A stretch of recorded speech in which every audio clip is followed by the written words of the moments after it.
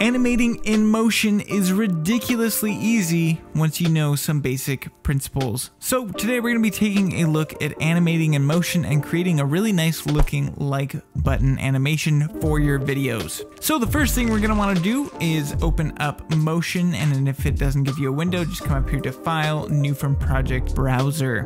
That'll give us this fancy browser here. Select the final cut title and that is because we're going to want to be able to drop in this little animation over the top of any of our videos. Also, I'm going to do this in 4K. You can do 1080 if that's what you prefer to work with.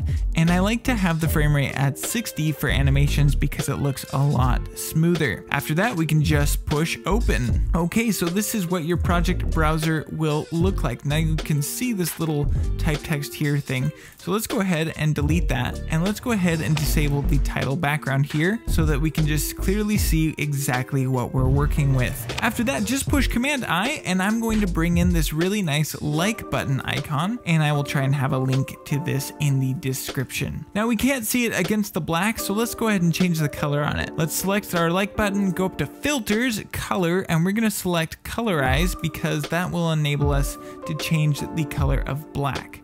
So we are to change the remap black to whatever color you like. I prefer a nice blue color because blue is my favorite color. After that, we are to get into the animation. So the first thing we're want to do is use behaviors. Behaviors can really make the whole animation process easy. Select your like button, go up to behaviors, go to parameter, and we're gonna select the overshoot behavior. Now, this is probably my go-to animation behavior because it just looks so clean. It's very simple to use and it really ups the production value of your animations. So after we've got that, let's go ahead and rename this to the scale overshoot because we're gonna apply this to the scale. Now you'll notice that if I affect these values, nothing is happening. And that is because we need to select what it will be applying this overshoot to.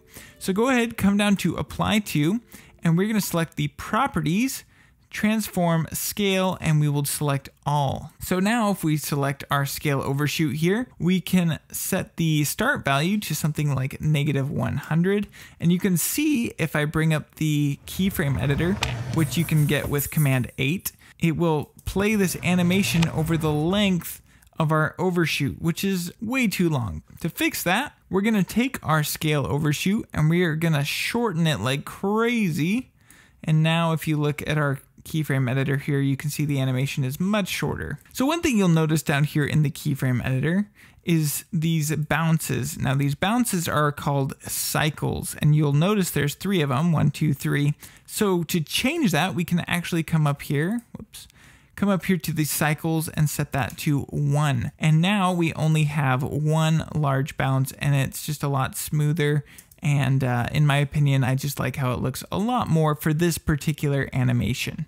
Now you could drag that up to 10 and have 10 tiny bounces, but they get so small that you can't even tell that they're happening. So let's go ahead, and set that back to one, and we are good. You can also change the acceleration speed, which this does.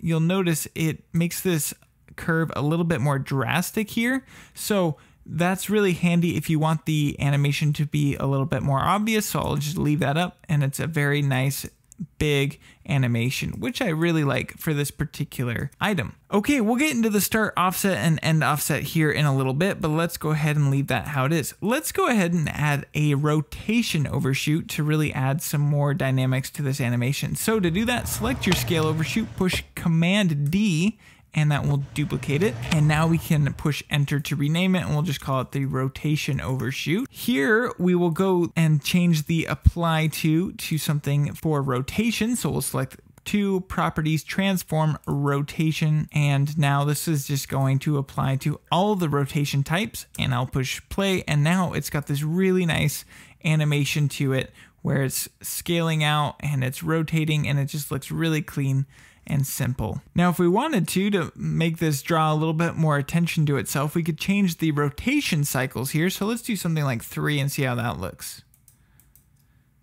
And now it's got this little like, hey, I'm here. And we could drag out the length of that.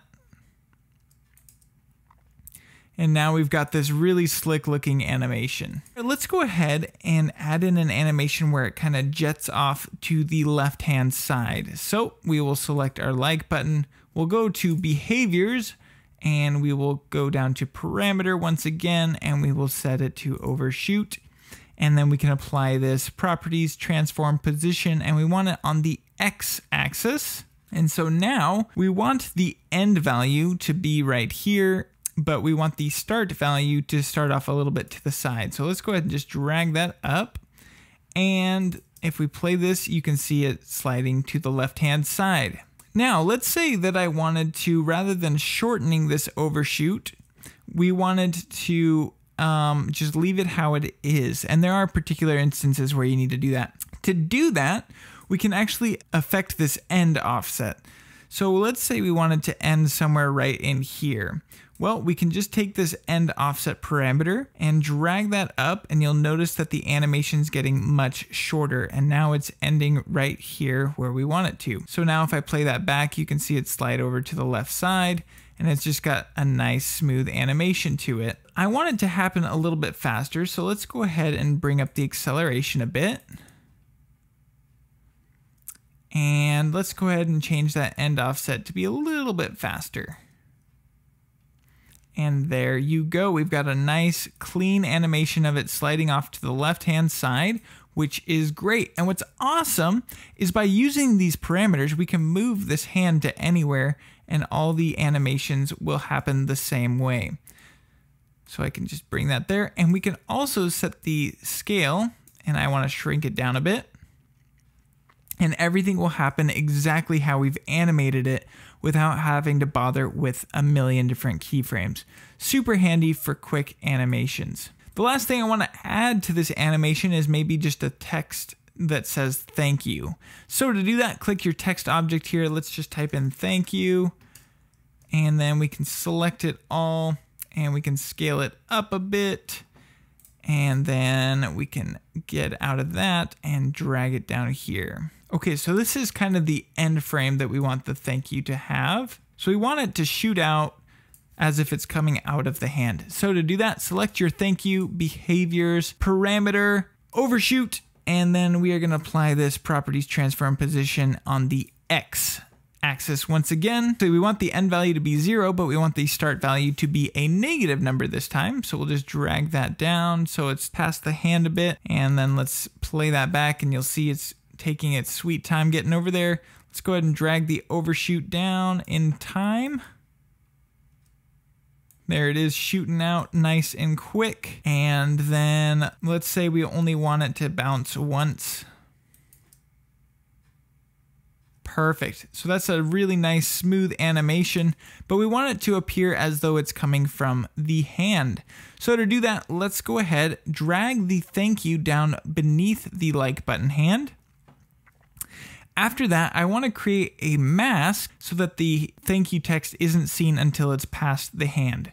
So to do that, normally I would just add a mask here, but we can't seem to do that with our text. So to fix that, we'll just right click and put it into a new group. And then we're just gonna select the rectangle mask button right here. And we will just create a rectangle that covers the whole screen and it just appears right there um, on the hand. And then we can select the HUD and invert that mask so it's only coming from the other side. Now, what's important is the hand is um, moving to the side so that the thank you when it comes back is actually getting cut off by the mask. So let's just add a quick animation to this mask. So we can actually select this record animation keyframe button. We'll add it in. We'll just move it a little bit so it puts a keyframe there and then we'll drag it to the left hand side to follow the hand and we should be set. So now we've got this really nice smooth animation that you can totally use for your videos. And now let's make it very easily accessible for Final Cut. Let's find the end of the animation here and we're gonna push Shift M and that will create this little green marker here. Double click that, select your type and set that to the build-in optional. And that will enable us to select if we want the animation to play at the beginning, then we can push OK. And let's go ahead and find the end of the animation. And maybe we could add like a nice fade out or something to kind of close it off. So to do that, let's select the group here and we will push O. So it trims everything down here real short. There we go.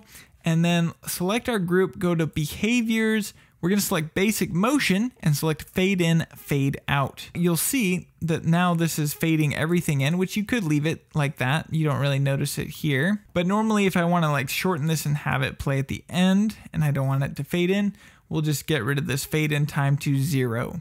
Now our fade out time, let's say we want it to take a little bit longer. And now we can have that fade everything out at the very end and it's beautiful. Now let's say that people want to have the option of fading in or fading out. We'll just push Shift M. Again, select this marker by double clicking on it, set the type to build out optional and push OK. And also, just for the sake of seeing exactly what this looks like in Final Cut, let's push Shift M once more, double click that and set the type to poster frame. And that is what is going to show up in Final Cut Pro so you can easily tell what the title is. Let's go ahead and re-enable the title background and then we will push Command S and we can just call this like button or you can call it, I'm going to call it like button tutorial so that I don't overwrite the one I've already created. And we can set the category to something that you like and then I will push publish. So in Final Cut Pro, you can see some of the animations I've made here and I've got my like button here that we just created. Actually, no, that's not the one we just created. This is the one we just created. And so now this will plop in real nice. I'll get rid of my voice there. This animation happens nice and beautifully. And then at the end here, it will fade out. Now, I just noticed I made a mistake. I would normally delete this, but I'm going to show it to you. So to fix this, everything is fading out and we don't want everything to fade out. So let's just quickly go back into motion, take this title background, and we want to drag it out of the group that it's in, maybe. Here, I'll make a new group and drag the title background into that and drag that. Dear Apple, the group system kind of sucks in motion. So if we could fix that, that'd be great. Okay, so now um, the background shouldn't fade out and we can push Command S and jump back into Final Cut Pro. Let's go ahead and delete that old one and re-drag it down to the timeline. And now it fades out on its own. So I hope that was helpful to you. If it was, consider pressing that like button, consider subscribing, and I will see you next week.